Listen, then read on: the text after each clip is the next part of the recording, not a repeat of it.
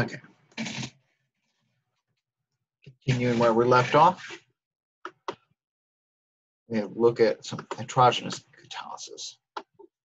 Right now, we've only really looked at homogeneous catalysts. Or catalyst and substrate are in the same phase, so they're both aqueous, both liquid. They're, they're essentially able to fully mix. Now, in a heterogeneous catalyst, usually the catalyst exists in a different phase from the substrate, typically as a solid. Now, these have their own disadvantages. It makes separation very easy. So you just essentially like, oh, it's a, liquid, fluidized bed. So you run the substrate over it, you drain it out, you've still got your callus bed, you can regenerate and reuse. Or you have a, you're essentially flowing a gas over it. You let you vent the gas off, then you reuse. So rather than focus on callus concentration, we have to consider instead absorption sites. So where are these going to interact within the uh, thing? So the first type of absorption is absorption while maintaining internal bonding, essentially called physisorption. So it's essentially the, the, the molecule binds onto the surface, but no chemistry is physically taking place as a, a, dynamic equilibrium, essentially where we have absorption and desorption from the metal substrate, uh, metal catalyst. And we describe the rate of the gas or the liquid plus the uh, metal substrate. So the, the whatever the thing, gas or liquid, the substrate could be K absorption to form a R, the complex metal substrate intermediate, and KD, which is the desorption where it breaks off again. And from there, we can see the reaction taking place. Now, parameters for sur surface absorption is looking at a fractional coverage theta, which theta is the number of occupied sites over the total number of sites. How much complex is absorbed versus how many what's the molar volume of this, the total number of, of all the sites. So if we have 100% absorption, and we have, we have 100 sites, and 100 sites are filled, theta would be 1. Just a fractional absorption. Now, theta will vary with pressure of a gas at a fixed temperature. It's called the absorption isotherm. And we can describe this through by the Langmuir model. This model will make three approximations. Absorption is complete once a monolayer coverage is reached. All absorption sites are equivalent and the surface is uniform. And absorption and desorption are uncooperative processes. The occupancy state of absorption site will not affect the absorption or desorption probability for adjacent sites, saying essentially that putting one layer of gas on there will complete the absorption. We don't have to have two layers, three layers. We don't have to say multiple absorptions to the same site. That there, you're not going to say there's a difference between spot, A and spot B. And most importantly is that when you absorb to spot A, spot B won't get a, a boost or spot B won't be hindered. You're not going to have worry about sterics from nearby spots. You're not going to say that like in, in hemoglobin where you bind one oxygen, then the second one's easier to bind, the third one's even easier to bind, and the fourth one is the easiest of all to bind. No, we're going to look at they're all independent. So looking at this absorption process, Fractional coverage increases with time as a function of absorption rate, pressure, and the number of sites n, and the number of sites that are open, 1 minus theta. So essentially, the change in the fractional coverage is equal to the absorption times the pressure times the number of sites times 1 minus theta. So so desorption is just K desorption, negative K desorption, number of sites sites times theta, the fractional coverage. So however many, if there's 100 sites and the fractional coverage is 50%, so you're saying 50 sites, the concentration of 50 times the desorption. Now this one, around the pressure, say there's 100 sites, 50% covered, so that means there's 50 open times the pressure, so times the constant, which is essentially how much gas is there.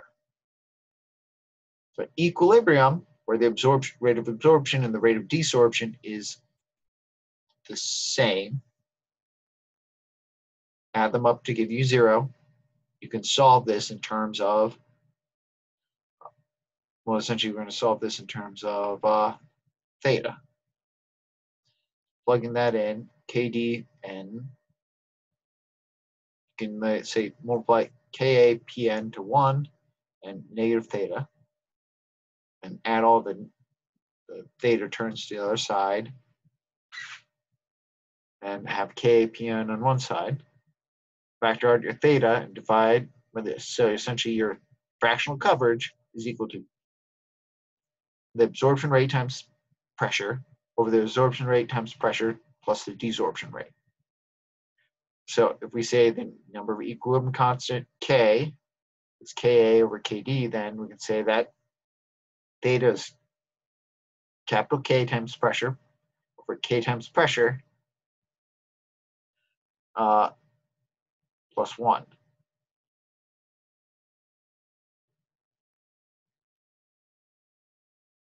And now this is essentially the equation for the Langmuir isotherm. So if pressure is high enough, absorption is complete. So alternatively, if desorption rate is slow enough, fractional coverage is independent of pressure. So if desorption is slow, is if desorption rate is zero is close to zero, it doesn't matter how much pressure. Ka times pressure, it's K over Ka, you get essentially 100%.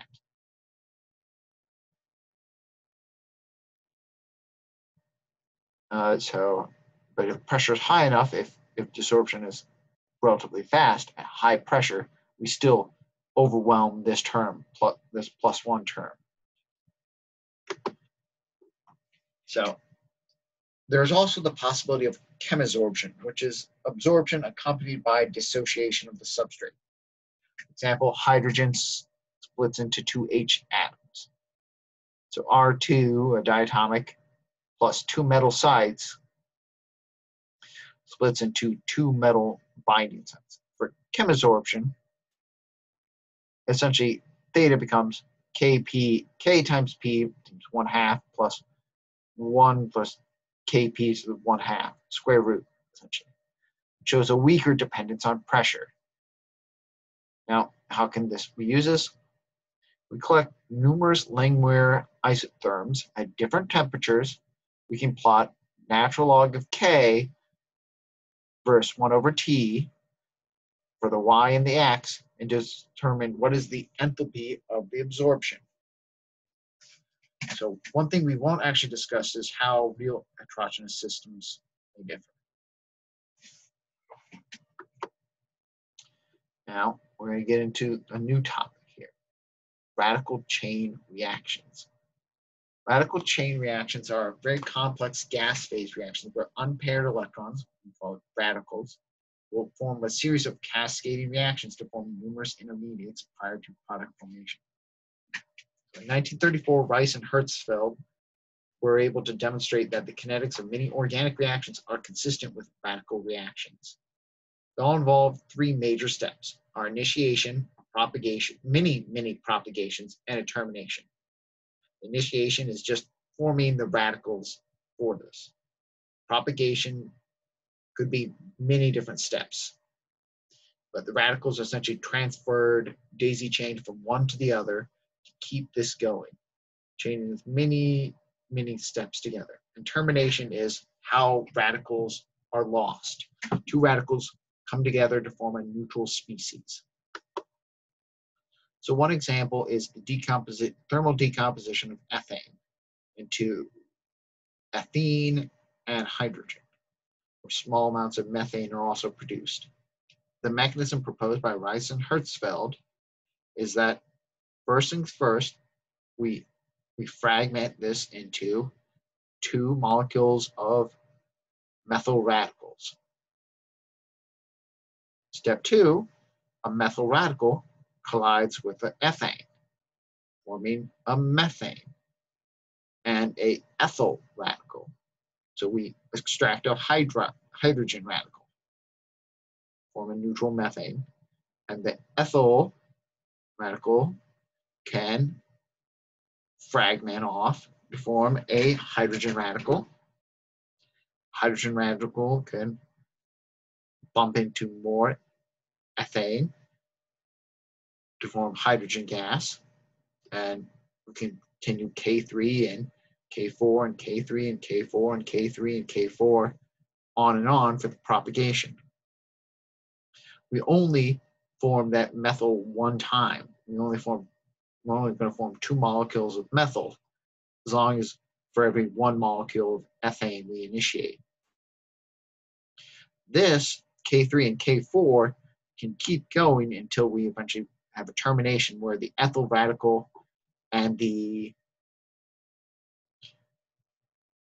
ethyl radical and the uh, hydrogen radical bump into each other to reform our ethane and stops. You're not going to have enough methyl radicals for that to happen, to like form methane and terminate like that. Now this mechanism looks incredibly complex. We have five different steps, but using a steady state approximation, this is only really a first order dependence on ethane. Look at that. So looking at the formate, the, the decomposition of ethane. Ethane is lost by the first step, K1.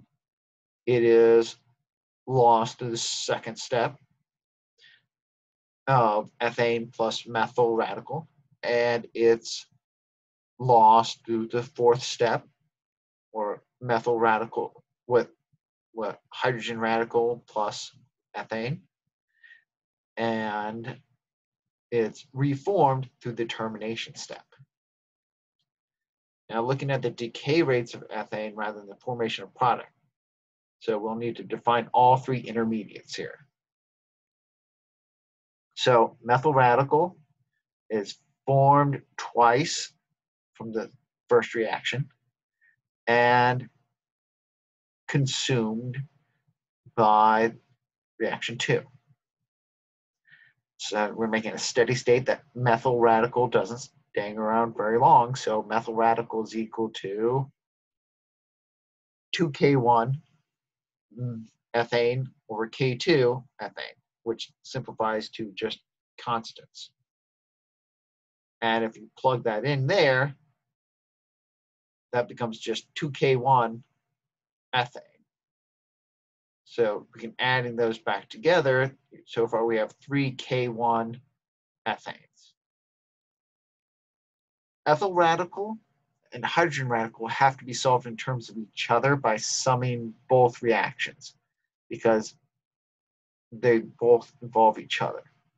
So, so ethyl radical is K2 methyl times ethane.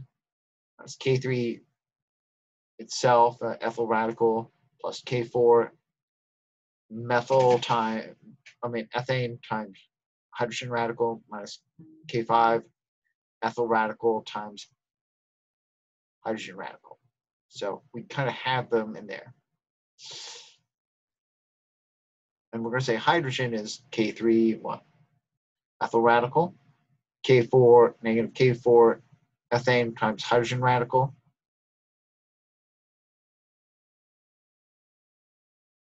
and uh, that's, that's how it gets lost. K5, uh, the ethyl radical times. So they're both equal to zero. Set them equal to each other and solve.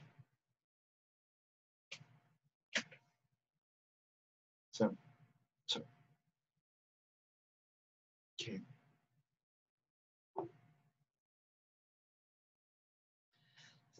Go to K3.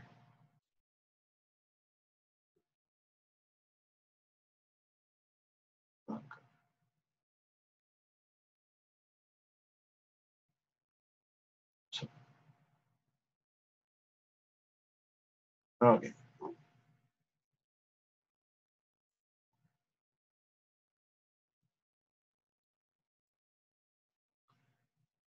Okay. Basically here, I can set this guy equal to K3 ethyl and plug uh, K3 ethyl radical, plug that into the bottom one. Now that bottom one, plugging that K3 ethyl, you have this new thing term now is added in K2 methyl radical ethane. K4 ethyl hydrogen gets canceled out and our two K our two termination steps add up. So now, and remember we have K3, we have the CH3 in terms of 2K1 over K2, so that's 2K1 C2H6. That so we now have these guys. Uh, uh, this hydrogen radical is now in terms of ethyl ethane over ethyl radical. Plugging that back in, plugging back in as we see, plugging that back in to our ethyl, ethyl radical. Ethyl radical, that right here, that cancels out. So K5, this becomes K1 C2H6. This last term, this becomes K1, K4, C2H6 squared over K5 ethyl radical. That stays K3 ethyl radical. That becomes K3, 3K1 methyl radical uh, ethane. So simplifying this down. So this is the only really term that's really ugly. K1 ethane and 2K1 ethane simplifies to K1 ethane. Get this to the other side. We, well, we essentially we have a quadratic. We have a quadratic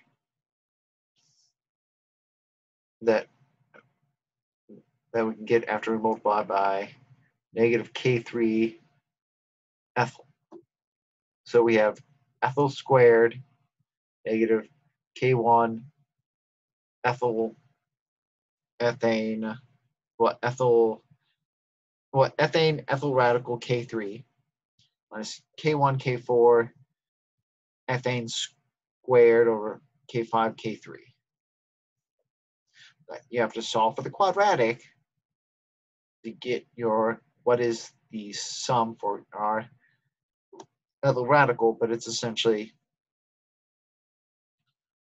ethyl times a whole ugly ass mess of of constants.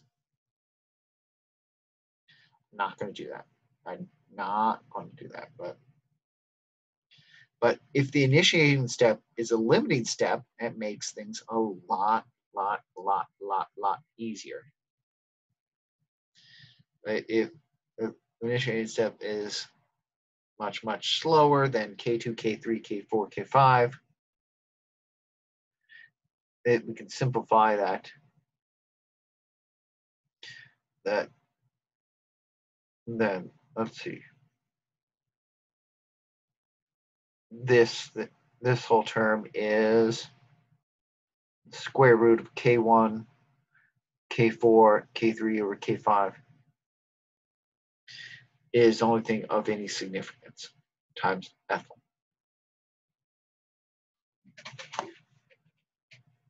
because k1 over k3 2k3 is going to be really small K1 over 2K3 squared is going to be even smaller. K1 times K4 over K3 times K5, we square root that, that's going to be somewhat significant. But plugging those in, so we have H1. And now we well, now we have H1 in terms of where we can get rid of the ethyl radical. So plugging in ethane, uh, it's like ethane over this ugly ass mess, you get just a whole bunch of constants. All that essentially cancel out. So K1 over K5, let's see.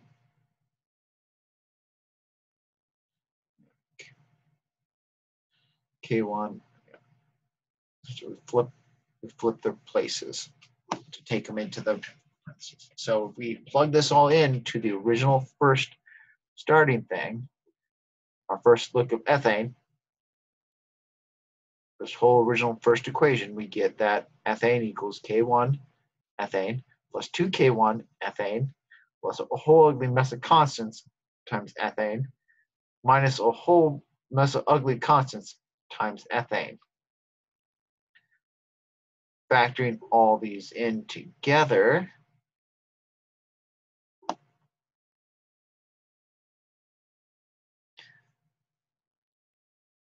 you essentially get 2K1 times ethane, K4, K3, K1, or K5, square root of that,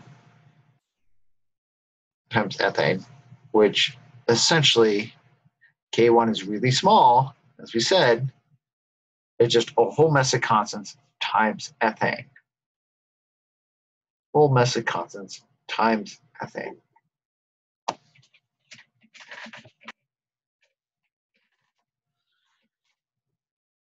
Because of the way these all cancel out. So despite the incredibly complexity and the different multiple of different rate constants, it's just ethane. Now, most orders are one half, one third, uh, one half, one, three halves, or two. So now one other type of radical reaction of polymerization is which substrate chains together to form our long chains, forming a polymer out of many different monomers. Unlike our standard radical reactions, uh, the radical chain polymerization usually requires separate initiators and the product polymer site is not predetermined. So we have initiator, initiation step that forms two radicals. The radicals attach the monomer through a, the second initiation step. The propagation where monomer radical attacks uh, a monomer to form a double monomer radical, and they keep going where it propagates to form a three mob. and and it just keeps going where we're saying m to the n minus 1. So we don't know when it's going to stop. And eventually you have a termination step where some monomer and another monomer radical come together and they stop. Now in this mechanism, the propagation rate is independent of the polymer size. It usually is. Looking at the change in the monomer radical, we ignore the propagation steps because they always form a new radical. So we really only need to look at our how much initiator we put in, where we say our phi is the probability that our radical is generate generates a monomer radical. So 2 phi ki i and negative 2 kt monomer radical squared. That's so we're knowing all the middle steps and just looking at the initiation step and the termination step.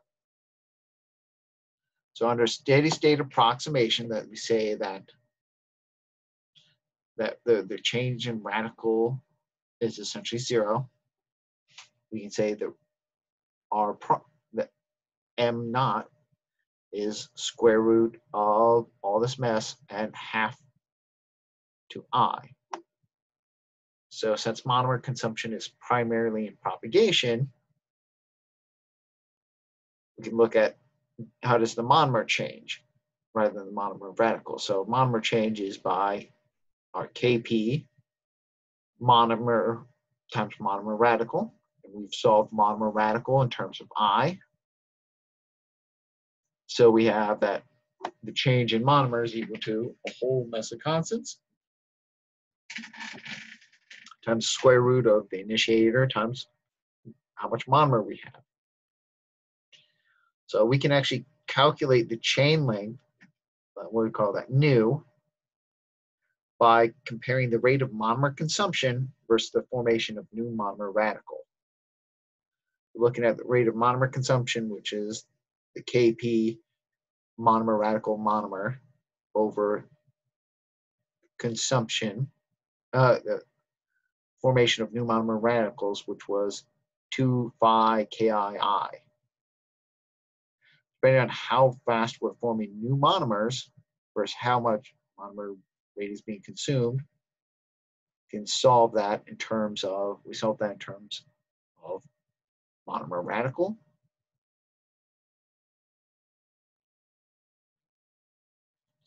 Plugging that in, that, that equals to 2k t monomer radical squared.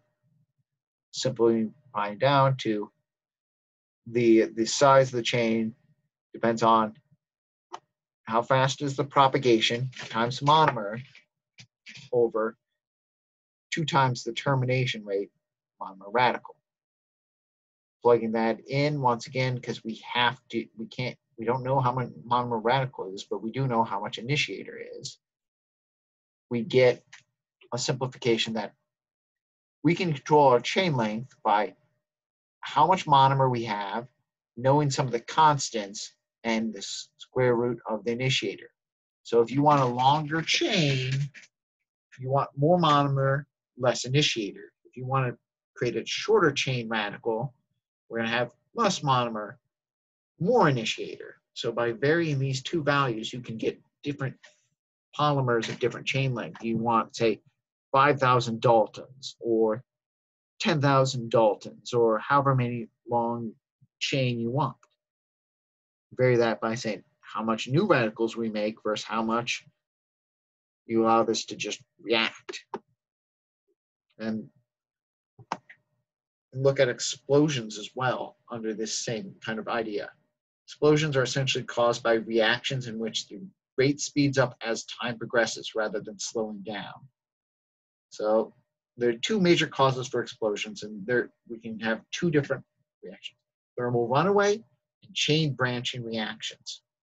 Thermal runaway is when heat is formed through a highly exothermic reaction, and there's not given enough time to sufficiently dissipate.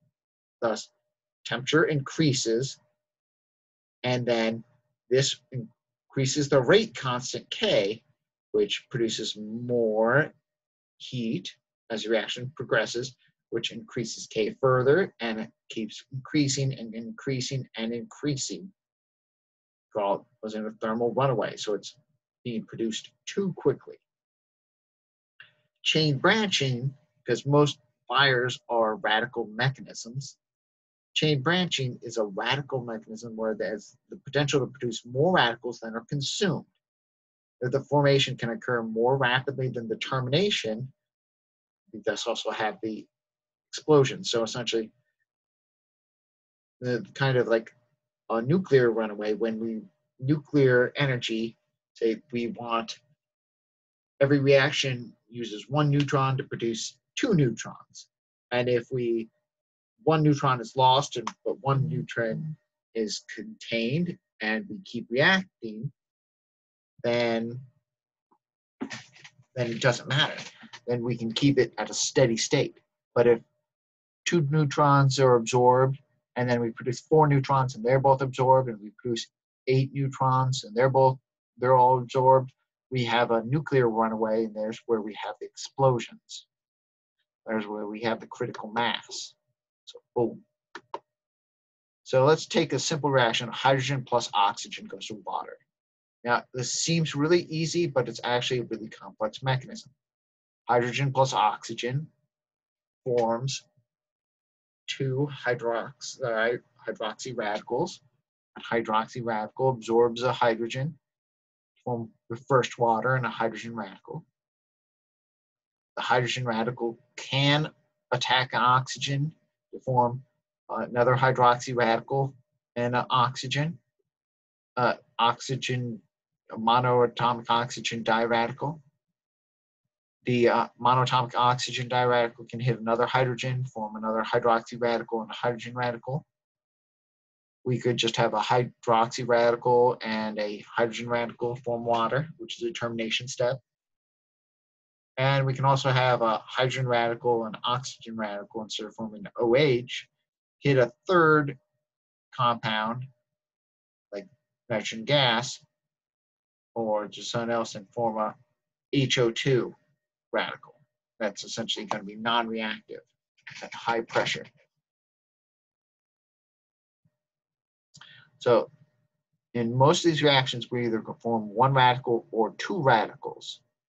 So the formation of more radicals than consumed is example of that branching reaction. These explosions are dependent on temperature and pressure. If temperature or pressure is too low, rate will not be sufficient to support appreciable chain branching. Thus, we'll see decay. So, too low temperature, too low pressure, you bounce, you hit the wall, you uh, essentially, it dies. You don't keep reacting. If pressure is too high, we can have these three body reactions where you essentially form a stable HO2 radical. But once you get the second pressure limit, a thermal runaway occurs. So you see that red thing is our rate. If we get a, increase the pressure,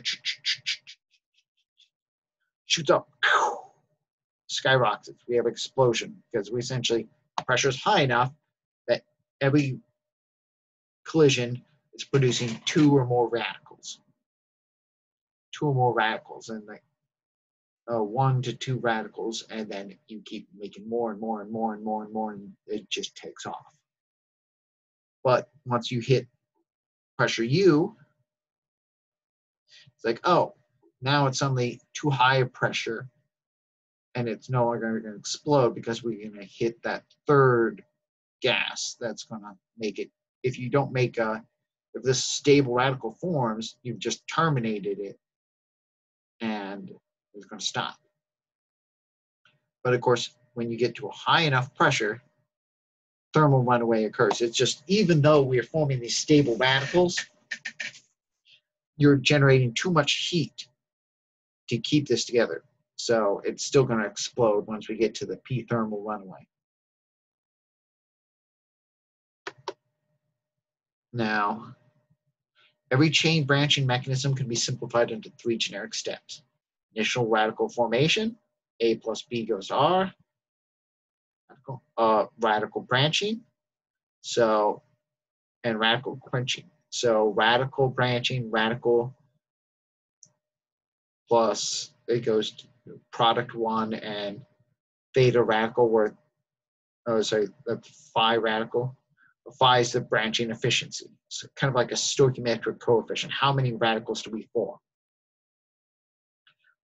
Termination is where radical just goes to product.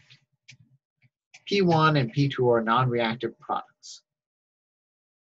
So just looking at that, Ki AB is going to form the radicals.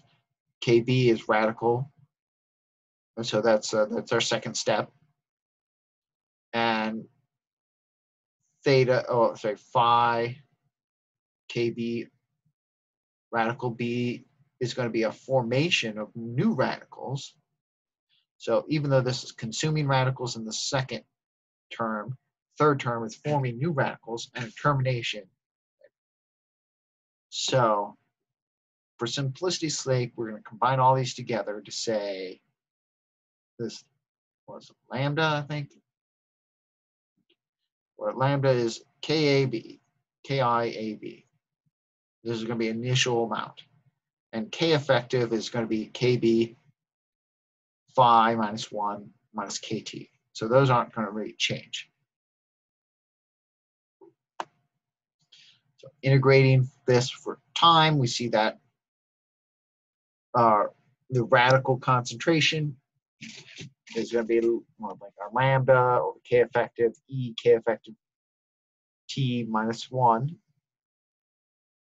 So imagine two scenarios. So if termination is much, much faster than KB theta over theta minus 1, or the reverse. If termination is much, much faster, much, much faster, much, much greater, as, as t approaches infinity, infinity, you essentially have negative kt, so e to the negative number is going to be close to zero. And you have what essentially negative kt. So 0 minus 1, negative 1 times negative 1 until you have limit, essentially have our lambda over kt.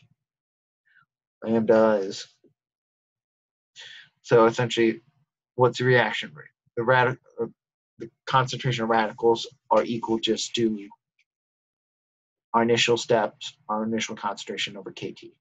But if we say that Kb, the essentially formation efficiency is uh, or formation efficiency is much greater than Kt. So you have Kb formation efficiency, whatever minus Kt is our K effective. So E to the K effective. So you E to the essentially really big number is essentially infinity is a really big number minus one can almost ignore that. And then we have really big number on bottom. K to root, essentially as t, well, t approaches infinity there, this approach e to the infinity approaches infinity. And so infinity minus one is still infinity, infinity times that. So essentially the thermal run we have our branching chain branching explosion right there. We're saying essentially, if the branching efficiency is greater than the termination efficiency, the amount of radicals approaches infinity as time approaches infinity, which is why we have our explosions. We're going to go ahead and stop there. Uh, last video, we're going to finish up with photochemistry, chemistry of light, in terms of kinetic.